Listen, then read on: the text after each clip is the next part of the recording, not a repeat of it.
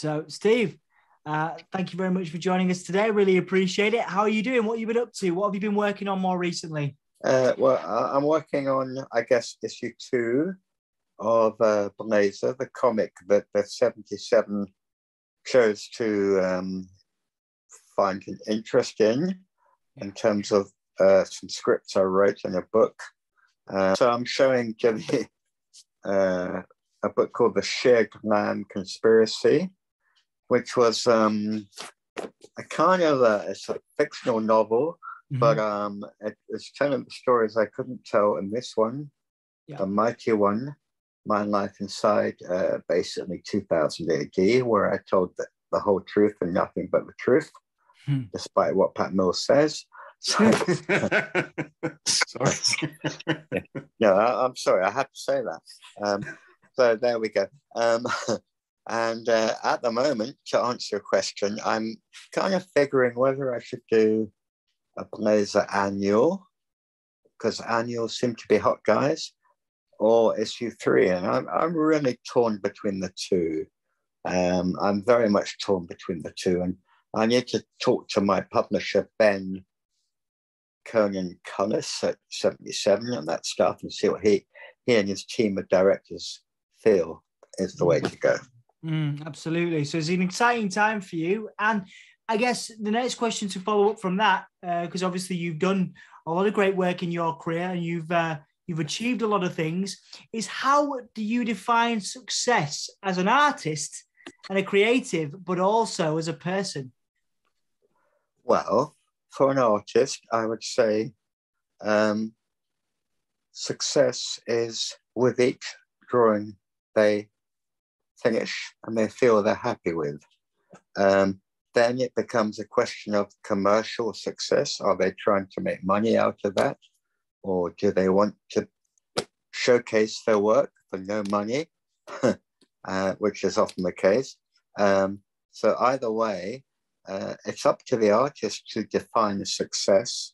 Um, but we all know that in monetary terms, success is when an artist uh, can draw a script written by themselves that becomes a very big seller, or they link up with someone like Alan Moore. Uh, so Dave Gibbons and Alan Moore became created a sex, successful product. So the answer to your question, I guess, is, is quite many-fold, but uh, it's up to the individual, I guess. Mm, mm, absolutely. And, and do you feel like you have achieved everything that you set out to do? Obviously, as as people that are observing your work, to me, I think you've done incredible stuff, and obviously Graham does as well, and many other people do. Uh, do you feel like you've achieved everything you want to do as an artist and a creative? Well, that's very kind of you both to say that. Um, but I would say yes, but there's still as long as you're alive, you're creating, be mm. you seven or 70, or 17 or 700. Um, I feel like uh, Picasso was always creating until his death, and many writers and stuff. So uh, it's very much a case of until I die, I am creating. Yeah. As a, not me per se, but an artist might say, or even uh, anyone in in their life is, is, is striving to, to keep on because what is the alternative? to turn your face to the wall, as John Lennon said. Yeah, you can't do that. Yeah, absolutely. So constantly create. And I think that, you know, that brings me on to my next question with regards to advice for, you know, younger creatives, people that are coming up, maybe they admire your work in the same way, you know, it's, it's a pleasure to have you, you know, sit with us, you know, and obviously there is admiration for your work. Graham's got some of your work as well uh, with, with us today to look at later. But, um, you know, what is your advice for any young person? What do you want to see from a young artist? I know this is different for you know, for everybody. What would you want to see from anybody coming up? What key skills would they need to have? Uh, I would say the first thing is not so much a skill as a passion mm. and a, a desire never to give up and just to keep on and on and on. If they believe in their work, then it will either happen or it won't. Um, mm. It's as simple as that, really. Um, but either way, one one way, you know, you make money. The other way, you don't. But you you have this body of work that people appreciate. Your friends, your mm. family, mm. people mm. in the marketplace, perhaps where you live in a small market town, or the other way is your work is appreciated by 500 million people in America. Yeah. it's, that's the way the cookie crumbles. But other way, just keep going, guys. Keep going. Keep drawing. Don't never ever give up. Mm, absolutely, Stephen. That's a wonderful message. And I think one of the things that I'd like to, you know, sort of ask you as well, if you're okay talking about it, is, you know, a lot of people we work with, uh, we they struggle with their own, you know, sense of self belief. Maybe they're dealing with a lot of mental health issues, a little bit of anxiety, some depression. So they might be very creative. They might have achieved, you know, some great art, but they they they, they say, oh, "I'm never going to be like Steve. I'm never going to have that, you know, that platform." And I wonder if you've ever been through any challenging times, a crisis of confidence, or anything like that, and how you were able to overcome that in your career. Yes, I, I, I hear what you're saying. And for those people, what's helpful to them is uh, a helping hand. And mm. by that, I would define it as an editor or an agent or a friend or a, professional in the industry who would help them or you get on. Mm. Um, for myself, uh, I didn't really have that kind of crisis. mm. I'm not that kind, but I do understand entirely the, the way one might see it as a mountain. And mm. I, I would say, you that that you can you can do that mountain. You can ain't no mountain high enough. Come on. Absolutely. You just need the support. It's all about support. So look for support. And by that, I mean fellow profession, uh, people who are aspiring, not aspiring, but artists, writers. Find a group, take the comfort from them, go to a convention, build your confidence, you know, learn from a professional, perhaps, who's telling you which pen to draw with and stuff and sooner or later, I, I, I, you know, it's true as tomorrow will be day, you will find happiness. Outside of work, outside of drawing and creativity, outside of comic books, graphic novels, uh, what is it that inspires you? So think family, friends, music, anything, you know, anything outside of, of what, what is for you work? Okay, good question. For myself, um, as an editor, um, when I was an editor, uh, pretty much uh, I was inspired by what I had seen that day the scripts from Alan Moore, the art from Dave Gibbons or Brian Bolland, working with my friends on the team at 2000 AD.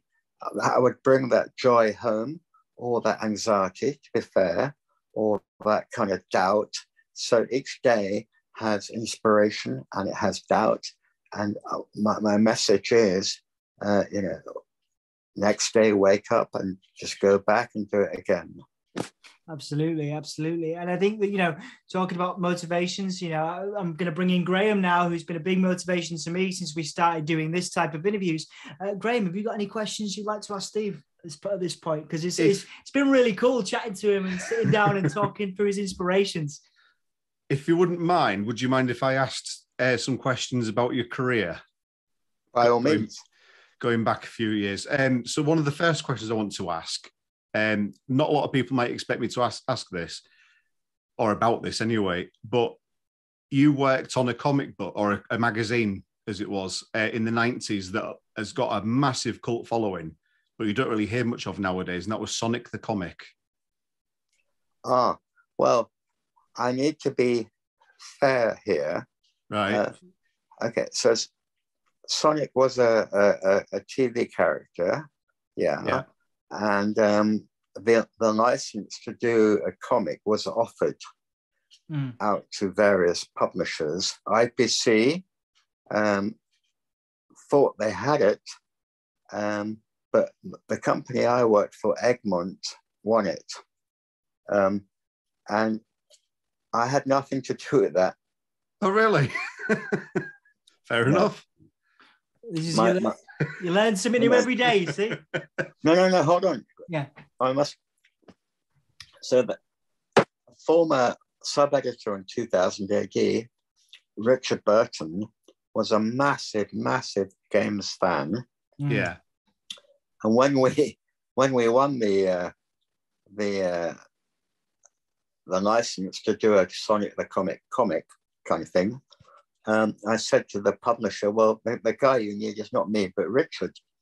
And Richard um, Burton then took over and created Sonic the Comic, and he got in touch with people like Nigel Kitching and uh, all the people who knew loads about the, the character, more than Sega, the licensors in the UK, didn't really know.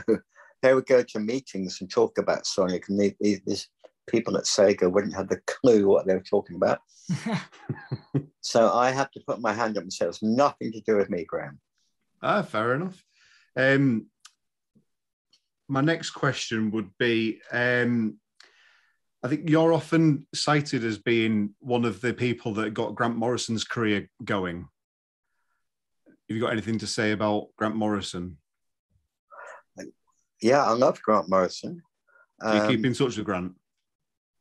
No, I don't. The thing is, uh, short answer, no. But then I don't keep in touch with any. Only if I met him at a convention. Mm. We're talking about. To be fair, for your listeners, you know, someone in America may think this is modern. It's not. We're talking about something that happened 30 years ago, guys. Yeah. We're talking about the 1980s. To be fair, so. Um, but uh, um, I remember Grant as a very quietly spoken person, very quiet. Um, and um, trying to think now. Oh, yeah, I was in the 2000 AD office one day and I turned my head and there he was. Hmm. I said to him, How did you get there? Because we had very tight security downstairs on this 20 story office block you, know, you couldn't get in. And he must have magicked himself there, Grant. you know. I'm not kidding because he, yeah, I didn't get a phone call to say, "Oh, there's a Mr. Morrison to see you. yeah, shall we send him up We'll kick him out?" I never got that, and that's what they had to do. They had to ring. I, I just turned my head to the left, and Grant was there. So that's my memory of Grant. Magical, just turned up, softly spoken. Next thing you know, he's writing Zenith, and, and, and off he went on his career. Amazing. Mm. Um, I was also going to ask you about working with uh, people such as uh, John Wagner, Alan Grant, um, you know, people like that. You know, have got massive followings as well. You know, have you got any interesting stories or funny stories or anything like that? That, you, that you'd like to tell. That you- that you don't can- have That to. you can say, yeah, of course. You, no pressure.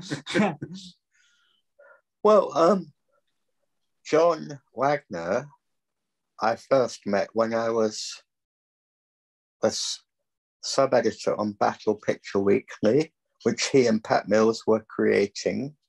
And uh, David Hunt was the editor, and David had kindly asked me to be his sub editor. So I met John that way. Uh, he was quite quiet, taciturn, big guy, talented, obviously. And then um, it turned out we decided we needed both needed somewhere to live, so we shared a flat in Camberwell. Um, and that that's in my book, how we shared some time together in the mighty one. that's called my book. Um, Alan Grant came into my on my radar when uh, Kelvin Gosnell, the editor of 2000 AD, was launching uh, Star Lord. And I remember meeting Alan in the office of Star Lord. I think maybe they tried to hire Alan instead of me as a sub editor, but that didn't work out. Uh, eventually, though, Alan came on to 2000 AD, and he and I were the editorial team. And um, we were kind of yin and yang, you know. Um, he had very firm ideas, and I had my ideas. And through that, we kind of managed to get 2000 AD to to a, a stable position, kind of like if I'm going to talk about progs now, I'm going to say prog 150 maybe. So that so both of those, um, John was quiet, Alan was forceful. John and I used to play pool. Alan and I used to have typing competitions. So that's how I remember them both. Different characters, very different characters with different Mm. personalities by the sounds of it. Yeah, absolutely. Yeah. Both Scottish though.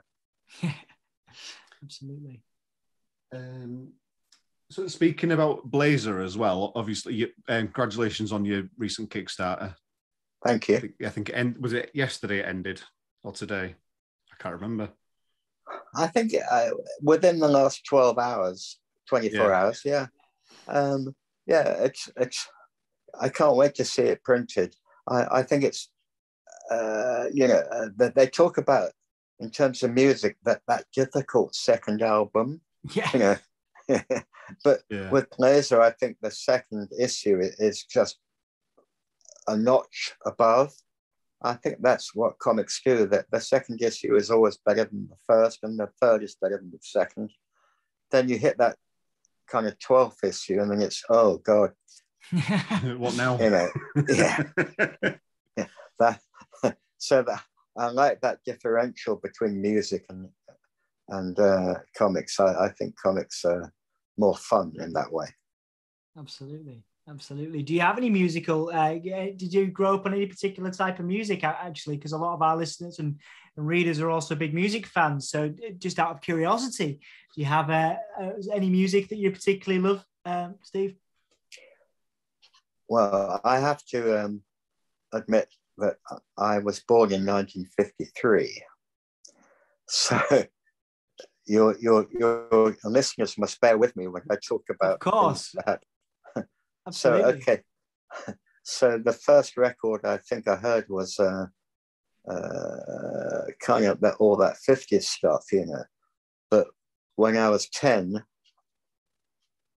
how lucky was I? Because I was 10 in the 1963, the Beatles broke. Oh, of I was course. just about to say that. Yeah, Yeah. Beatles. yeah. Yeah. So you know you can't you can't. Uh, incredible. incredible. Yeah. yeah. So all that six years British wave, uh, and then I really got into the West American West Coast music in my sort of teenage years. So I'm talking about. Um, I must give a heads up here though to ten years after, but British, but in American, Grateful Dead, The Doors, Yeah.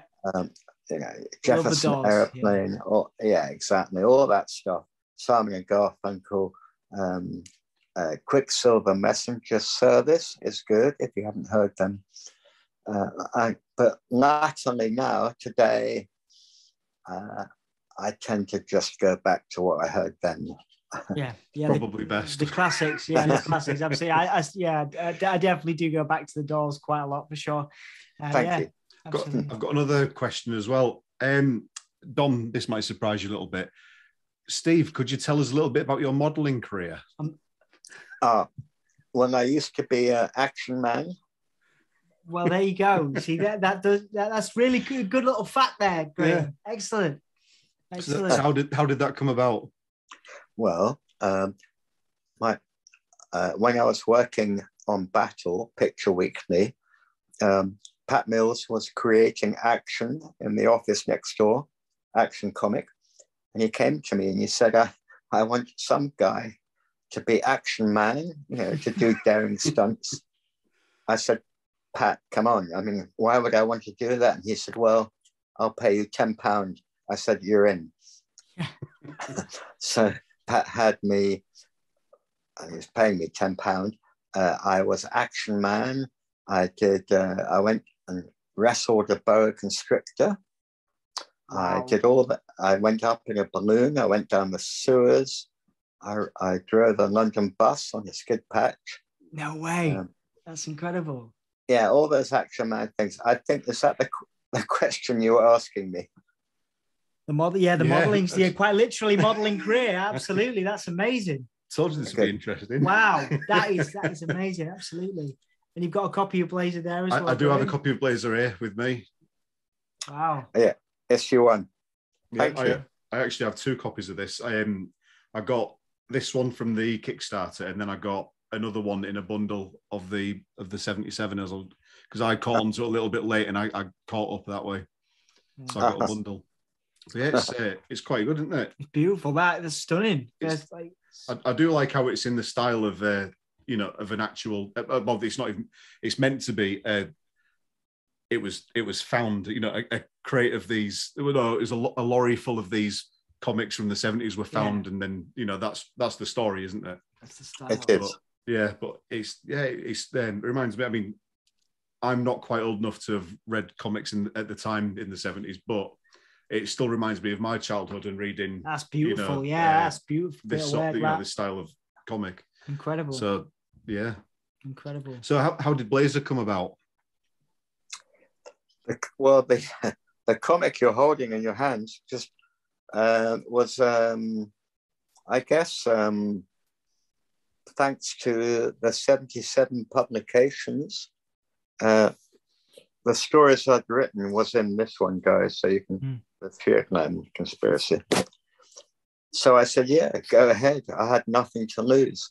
So Ben and his fellow directors went out and found artists to draw the scripts that were in this comic, this book, sorry.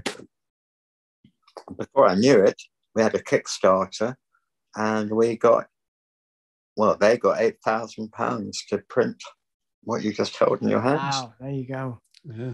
Yeah. Yeah, that's beautiful. And um, Blaze, yeah, yeah. So that's know, kind of a, a rambling answer to your question.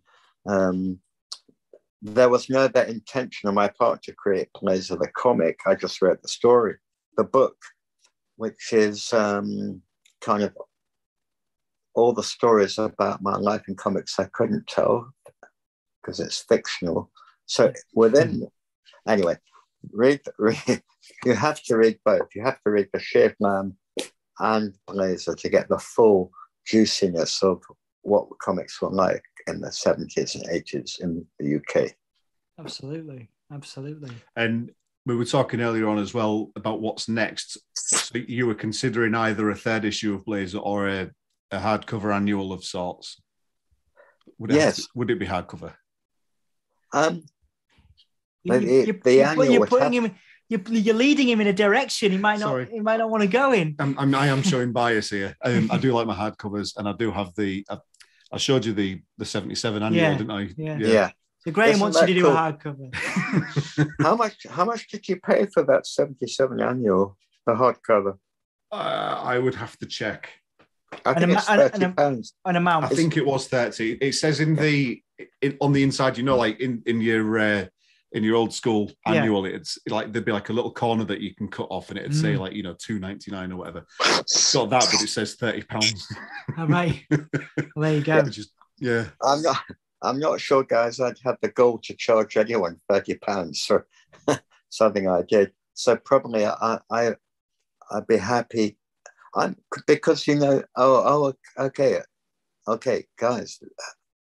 I would rather do Blazer issue three because on issue two, there's fantastic news about a merger in the next issue. So in issue three, I'm saying that if we ever do issue three, it will be Blazer and a horror comic called Frightful. Awesome. Ooh. Oh, there you go. Ooh. Now Take- I And want my issue friend- three now instead. yeah. And my friend Alan Hebden has offered me a couple of his horror stories to go in issue three. So Oh, amazing. it's all up to Ben Conan Cullis, my publisher, to see and his directors. I, I, I think actually I don't want to do a Blazer annual because the 77 annual is kind of like hit the spot. You know, I, I can't Yeah. compete with that. I, I think I'd rather go on with my little supposed weekly comic, you know, coming out every year. it's, you know, it's 32 pages of you either like it or you don't. You know, you you know what it's about. It's a kind of referential you know, thing plays, uh, but uh, I, I, I really enjoyed writing the letters page from the perspective of a young child in the 1970s, 70s, you know, where I talk about things like um, space hoppers, you know. A child of today wouldn't know what a space hopper is. Love a good but space us hopper. guys, well, Yeah. maybe not you two, but people no. my age in our. 50s, I know about space. I know about space opera, Steve. Absolutely, good fun. Good fun. absolutely, yeah. Absolutely. Does that make sense to you? Yeah, we've Yeah, got a bit of news yeah. there as well. Tasty Yeah. bit. Thank you so much for sharing that with us, Steve. That's amazing, and it's lovely to sit down with you. I, I do want to ask. uh, I mean, Graham, have you got any more things you want to ask Steve? Because there's probably loads, isn't there? But uh, I no, mean, you go ahead. I mean, for me, one of the things you know, I do want to ask you, you know, coming off the back of this, you know, again, with all you've achieved, there's a lot of people that have seen your work from all over the world. What would be your message to people that have, have, have supported you, whether they've paid, whether they've enjoyed the Kickstarter, whether they've, you know, whether they're listening to this? Would be your message to people that have supported you through your career and will continue to do so as you continue on uh, as a creative? Well, first of all, thank you very much. I'm not sure I deserve their support, but it, it is very welcome. Absolutely, you do, mate. Okay. Secondly, I'd say, you know, um, spread the word. Comics Mm. are good. Uh, the, the art form is, is is absolutely bang on it. And uh, if you're a aspiring artist, keep right aspiring. If you're a, a writer, keep aspiring. And if you're a reader of comics, keep buying because we need your support. Absolutely, and that's a wonderful message to finish on. Um, like I say, just quickly, the press and plugging bit. Where would you like people to go? Where do you want people to? What do you want people to buy at the moment? What uh, what links do you need uh, to plug? Where can people go to find out more about your work? And where do you want people? Where do you want to send people before we finish up? Yeah, that's okay. Yeah, I would ask anyone if they can get a booster jab, Yeah. and then we'll, we'll be safer. Never mind me. Protect yourselves, guys, because this Omicron is pretty dangerous. So get jabbed, and then we can all meet at a convention next year. Absolutely. Looking forward to it. Absolutely, very much looking forward to it. And thank you so much for sharing your time and your energy about your work. It's very infectious and uh, it's lovely to speak to you, Steve. Thank you so much. Thank you, both of you, Graham. Thank you, both of you. Good night.